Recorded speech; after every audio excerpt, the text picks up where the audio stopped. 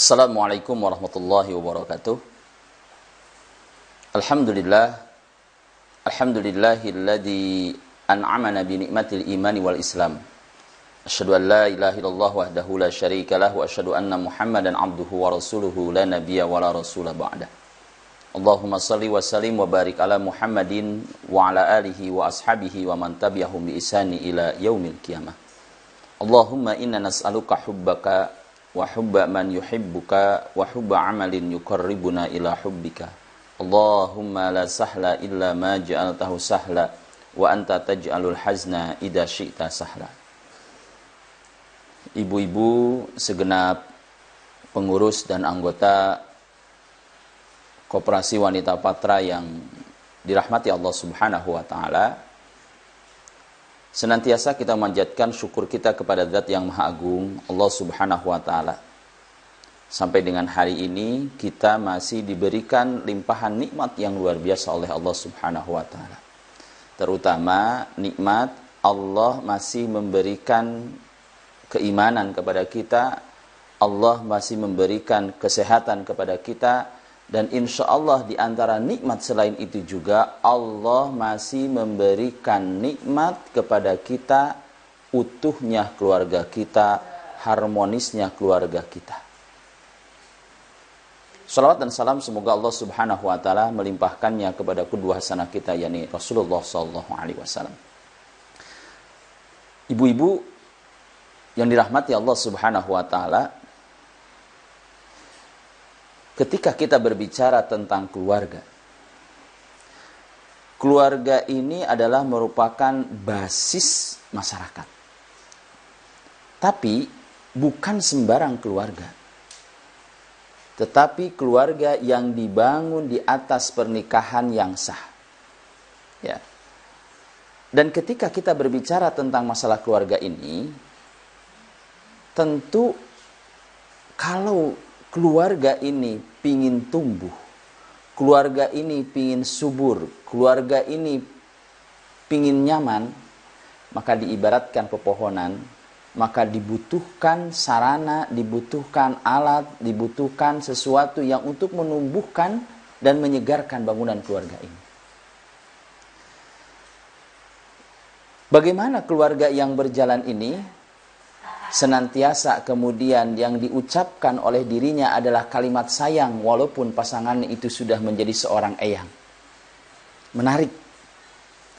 Maka di kesempatan hari ini kita akan sama-sama menyampaikan dan mencoba untuk membahas bagaimana pupuk yang bisa digunakan untuk menumbuhkan keluarga ini senantiasa bergelora cinta suami istrinya. Tentu contoh yang terbaik kita adalah beliau Rasul Sallallahu Alaihi Wasallam.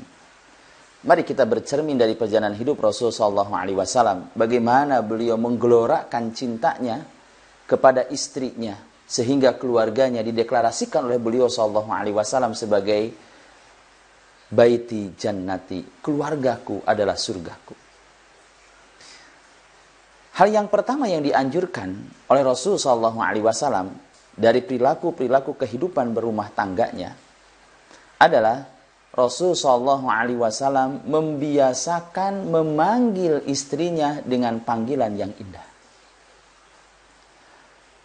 Ketika kita menyebut nama seseorang dengan ejaan yang benar, atau ketika kita memanggil seseorang dengan nama yang dia senangi, tentu ini akan mengesankan dan mendekatkan di hati.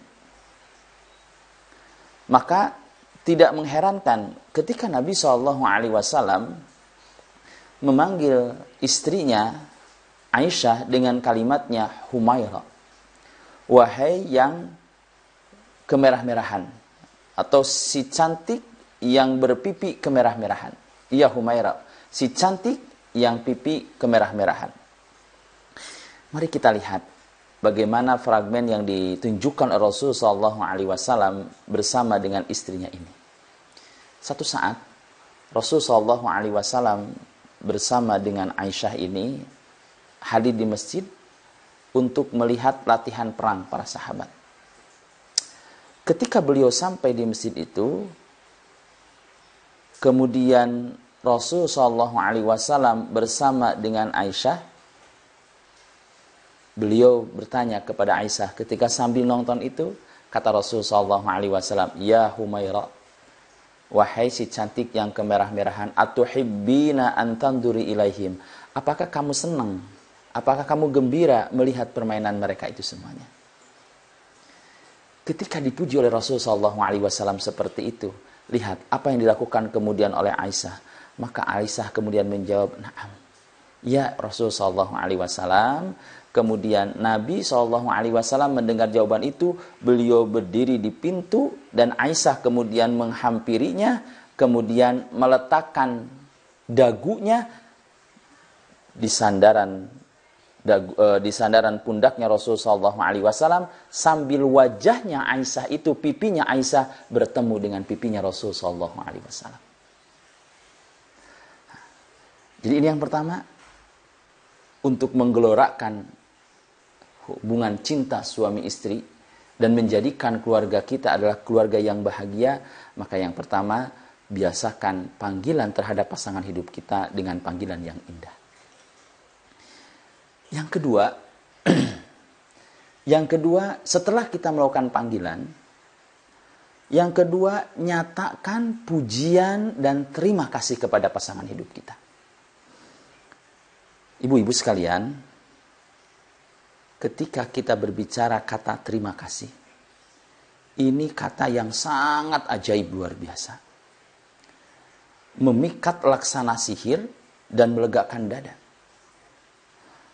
Orang yang berjiwa besar sangat suka mengucapkan kalimat terima kasih ini. Satu penelitian menyimpulkan bahwa pandai mengucapkan kalimat terima kasih merupakan ciri utama orang bahagia. Ya. Jadi ucapan terima kasih itu merupakan ciri utama orang yang bahagia. Untuk itu mari kita bertanya kepada diri kita sendiri dengan pasangan hidup kita. Sehari berapa kali kita menyampaikan kalimat ini kepada pasangan kita? Berapa kali berterima kasih kepada pasangan kita? Karena tadi di antara ciri orang bahagia itu adalah mengucapkan yang namanya terima kasih. Ya. E, dan ketahuilah orang yang tidak tahu terima kasih luar biasa kemudian di rumah diberikan pelayanan yang terbaik oleh istrinya. Tetapi dia pelit sekali ucapan lisannya untuk mengucapkan kalimat terima kasih kepada pasangan hidupnya maka sesungguhnya orang yang tidak tahu terima kasih ya kepada orang yang kita cintai sesungguhnya ia adalah bukan orang yang pandai bersyukur kepada Allah Subhanahu wa taala.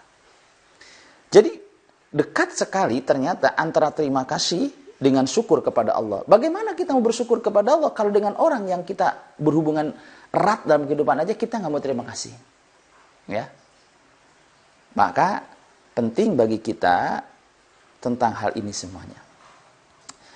E, mari kita lihat bagaimana Rasul Shallallahu Alaihi ketika berbicara tentang ucapan terima kasih dan pujian ini kepada siapa? Kembali lagi sosok Aisyah. Dan jujur kita katakan, kita alhamdulillah ada sosok istri Nabi yang namanya Aisyah.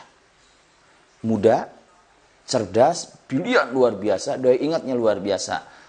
Wallahi, kalau seandainya kita kemudian tidak mendapatkan sosok dari Aisyah, tidak ada sosok Aisyah dalam kehidupan Nabi Shallallahu Alaihi Wasallam, maka niscaya sampai hari ini kita tidak akan pernah tahu bagaimana Rasulullah Wasallam berkeluarga. Kenapa? Karena riwayat hadis kebanyakan yang disampaikan adalah oleh siapa? Oleh Aisyah radhiyallahu. Mari kita lihat bagaimana Rasulullah Shallallahu Alaihi Wasallam dengan Aisyah kaitannya dengan ucapan terima kasih dan pujian. E, satu hari Aisyah menceritakan bahwasannya beliau duduk lagi menenun kain, ya, lagi menenun kain. Kemudian Rasul Shallallahu Alaihi Wasallam di satu sisi beliau duduk lagi ngesol sepatunya atau sendalnya. Nah, ini dua-duanya lagi lagi asik. Nah, ternyata ketika kemudian Aisyah melirik Rasul Shallallahu Alaihi sekelibatan dia lihat di kening Rasul Shallallahu Alaihi ada sesuatu cahaya atau sesuatu yang mengkilap, ya. Dan ketika melihat itu Aisyah bagaimana terkesima luar biasa. Maka ketika itu Rasul Shallallahu Alaihi Wasallam tahu betapa kaget dan terkesimanya Aisyah. Maka beliau Rasul Shallallahu Alaihi Wasallam bertanya, Ya Aisyah, mengapa engkau terkesima? Maka lihat jawabannya, sangat sederhana sekali ternyata kasusnya itu. Kata Aisyah gimana? Iya, keningmu berkeringat dan mengkilaukan cahaya. Hanya satu yang beliau lihat, adanya apa? Adanya keringat di keningnya. Lihat. Ketika kemudian hanya ini yang disampaikan oleh siapa? Oleh Aisyah betapa pedulinya Aisyah kepada Rasulullah Wasallam hanya keningnya saja kemudian yang ada keringatnya beliau peduli luar biasa tetapi lihat apa yang disampaikan oleh Rasulullah Wasallam kepada beliau apa kata Nabi Wasallam Jazakallah ya Aisyah terima kasih Aisyah ya anni khairan ya terima kasih Aisyah Allah akan memberikan balasan kepadamu dan kata Nabi Shallallahu Alaihi Wasallam, masurirti minni kasurir minka. Kata Nabi Shallallahu Alaihi Wasallam, kegembiraanku padamu melebihi kegembiraanmu padaku. Kalimatnya apa? Terima kasih. Urusannya apa? Sangat sederhana. Tapi begitulah Rasul Shallallahu Alaihi Wasallam. Ya. Jadi yang kedua, jangan lupakan nyatakan pujian dan terima kasih. Ini kan kita berat. Sudah luar biasa bekerja istri kita di rumah, ibu-ibu sudah luar biasa nyuci, ngantar anak segala macam. Gak ada tanda terima kasih sedikit pun. Maka ini penting yang kedua untuk memupuk keluarga kita adalah gelora cinta suami istri, nyatakan pujian dan terima kasih. Nah, yang ketiga, ketika orang itu terbiasa mengucapkan terima kasih, ketika orang itu terbiasa mengucapkan kemudian kalimat pujian kepada pasangan hidupnya, maka ucapan-ucapan ini, pujian ini, terima kasih ini akan mengkristal. Maka akan melahirkan kemudian yang ketiga yang bisa menumbuhkan gelora cinta suami istri itu apa? Adanya kesetiaan. Jadi orang itu menjadi setia karena akumulasi terima kasih yang diucapkan senantiasa kepada pasangan hidupnya dan menjadilah kemudian yang namanya kesetiaan. Ya. Jadi kebaikan yang telah banyak dilakukan oleh seorang suami, kebaikan yang telah banyak dilakukan oleh seorang istri, maka sudah selayaknya kita sebagai pasangannya untuk mengapresiasi dengan terima kasih dan kita kemudian berlaku setia kepada pasangan hidup kita. Dan kita ini setia kenapa? Kita setia kepada pasangan hidup mana? Karena kita tahu budi. Bahwasanya pasangan hidup kita itu baik kita juga baik, kebaikan itu diucapkan dengan mengucapkan kalimat pujian dan terima kasih, orang yang setia itu karena dia tahu budi. Ya. Dan kesetiaan itu hanya dimiliki oleh orang yang berbudi. Kalau yang tidak berbudi nggak mungkin dia punya setia. Ya. Nah, awalnya dari mana itu? Awalnya dari kalimat ucapan terima kasih, ucapan yang namanya pujian. Nah, mari kita lihat bagaimana Rasul Shallallahu Alaihi Wasallam kesetiaannya kepada sosok seorang Khadijah. Kita tahu Rasul Shallallahu Alaihi Wasallam kehidupannya dengan Khadijah itu di masa-masa sulit. Pengorbanannya Khadijah itu luar biasa. Saat orang tidak percaya dengan Rasul Shallallahu Alaihi Wasallam, Khadijah lah orang yang pertama percaya dengan Rasul Shallallahu Alaihi Wasallam saat orang-orang kemudian menahan diri untuk membantu Rasulullah SAW, Khadijahlah orang yang menghabiskan hartanya untuk membantu perjuangan Nabi SAW. Bahkan dalam satu sisi Khadijah sampai menyatakan, menangis beliau ketika kemudian sudah istilahnya habis hartanya di hadapan Rasulullah SAW. Rasul bertanya, kenapa engkau menangis? Maka kata Khadijah apa? Sungguh, tidak ada lagi harta yang bisa aku bantukan untuk perjuanganmu. Tetapi seandainya nanti aku meninggal, dan tulang belulangku kemudian dibutuhkan untuk membantu perjuanganmu, silahkan kau pakai itu semuanya. Itulah pengorbanan seorang Khadijah. Maka lihat kesetiaannya bagaimana? Kesetiaannya ketika Khadijah sudah meninggal, dan ternyata Khadijah itu semasa hidupnya senang untuk membagi makanan dengan teman-temannya. Dan ketika Khadijah sudah wafat, Nabi SAW ketika masa kambing ya masa kambing atau masakan apa pun senantiasa beliau ingat dengan kebaikan-kebaikan istrinya yang namanya Khadijah. Saat beliau sudah wafat Khadijah dan teman-temannya masih ada ketika Nabi saw masak seperti bagaimana yang dilakukan oleh Khadijah maka beliau menyatakan apa? Arsilu biha ila iha Khadijah. Kata Nabi saw di mana kirim makanan ini kepada siapa kepada teman-temannya Khadijah setia luar biasa sudah wafat masih ada Nah, kemudian selanjutnya apa? Berikan sentuhan romantis. Romantis itu tidak mahal. Harus makan di tempat yang mewah, di hotel mungkin bintang 5, di pinggir laut. Enggak. Ya. Lihat romantisme yang dilakukan oleh Rasul sallallahu alaihi wasallam sederhana sekali. Dalam urusan-urusan makan dan minum, Rasul wasallam dan dan Aisyah adalah orang yang romantis.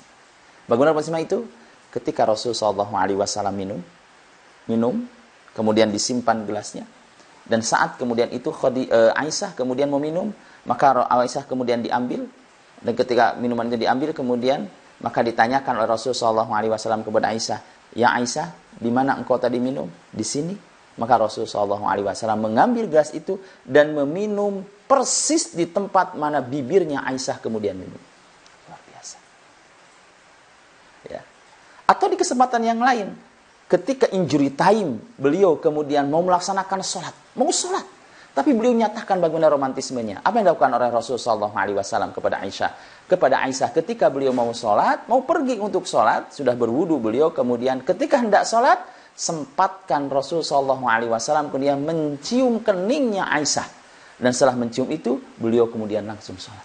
Romantisme luar biasa Rasulullah SAW. Ya. Dan yang selanjutnya adalah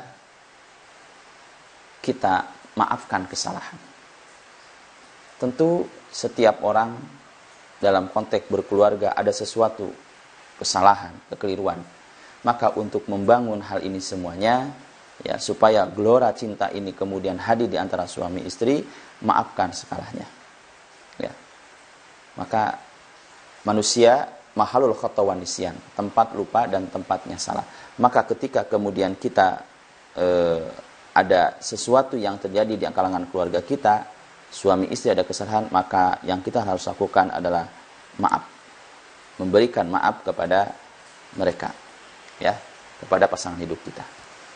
Baik, eh, ibu sekalian yang dirahmati Allah, jadi ini resep untuk menumbuhkan gelora cinta antara suami dan istri dan menjadikan keluarga kita menjadi keluarga yang sakinah mawadah warahmah. Maka biasakan panggilan yang indah terhadap pasangan kita. Nyatakan pujian dan terima kasih kepada pasangan kita. Kemudian pupuklah yang namanya kesetiaan, berikan sentuhan romantis dan yang terakhir maafkan ketika ada kesalahan. Mudah-mudahan resep ini bisa menjadi penyubur keluarga kita dan mudah-mudahan keluarga kita bukan hanya kebersamaannya di dunia tapi nanti di akhirat Allah bersamakan kita semuanya. Untuk itu mari kita berdoa kepada Allah Subhanahu wa taala mudah-mudahan keluarga-keluarga yang hari ini lagi dicoba oleh Allah Subhanahu wa taala khususnya di musim pandemi ini ini adalah bagian ujian kita kesetiaan kita kepada pasangan-pasangan hidup kita. Dan mudah-mudahan ketika ujian ini kemudian dihadirkan oleh Allah melalui sakit atau apa pun yang hadir pada kita Allah menjadikan ini sarana untuk menguatkan hubungan suami istri di antara kita dan Allah menjadikan sarana untuk menghapus dosa-dosa kita dan mudah-mudahan sakitnya ini bisa mengantarkan kita untuk mendapatkan ampunan dari Allah Subhanahu wa taala dan menjadi sebab lantaran Allah menjadikan diri kita lebih baik dari hari yang kemarin kita bermunajat kepada Allah Subhanahu wa taala. Mudah-mudahan Allah Subhanahu wa taala segera mencabut wabah yang terjadi di negeri kita Indonesia khususnya dan umumnya di seluruh dunia yang ada. A'udzubillahi minasyaitonirrajim. Bismillahirrahmanirrahim. Alhamdulillahirabbil alamin hamdan naimina hamdan syakirin hamdan yuafi ni'amahu wa yukafi majidah. Ya Rabbana lakal hamdu kama yanbaghi li jalali wajhika wa 'azimi sultanik. Allahumma inna nas'aluka salamatan fid din wa afiyatan fil jasad wa ziyadatan fil ilmi wa barakatan fi rizqi wa taubatan qabla al-maut wa rahmatan indal maut wa maghfiratan ba'dal maut Allahumma hawwin alaina fi sakaratil maut wan najata minan nar wal afwa indal hisab bi rahmatika ya arhamar rahimin. Rabbana hablana min azwajina wa dhurriyyatina qurrata a'yun waj'alna lil muttaqina imama. Rabbana la tuzigh qulubana ba'da idh hadaitana wa hab lana min ladunka rahmah innaka antal wahhab. Rabbana atina fid dunya hasanah wa fil akhirati hasanah wa qina adzabannar Subhana rabbika rabbil izzati amma yasifun wassalamun ala mursalin. Walhamdulillahi rabbil alamin. Aku li hada wastaghfirullahaladzim li walakum Wassalamualaikum warahmatullahi wabarakatuh